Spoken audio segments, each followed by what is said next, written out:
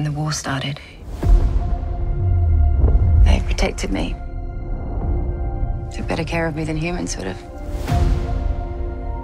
They're not people, Maya. It's just programming. Ten years ago today, the artificial intelligence created to protect us detonated a nuclear warhead in Los Angeles. This is a fight for our very existence. Sergeant Taylor, we are this close to winning the war.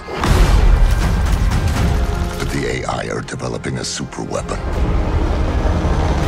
Retrieve it.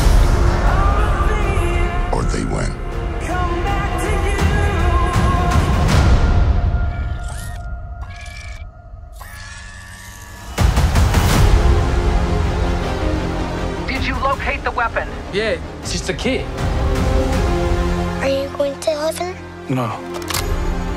You gotta be a good person to go to heaven. Then we're the same. We can't go to heaven because you're not good. And I'm not a person. Do you have any idea what the thing is? She looks like a little girl now, but she's growing. Whoever has that kid wins the war. Whose side you on, huh?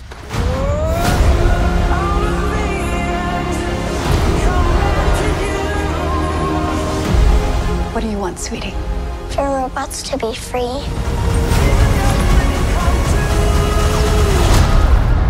Oh, we don't have that in the fridge.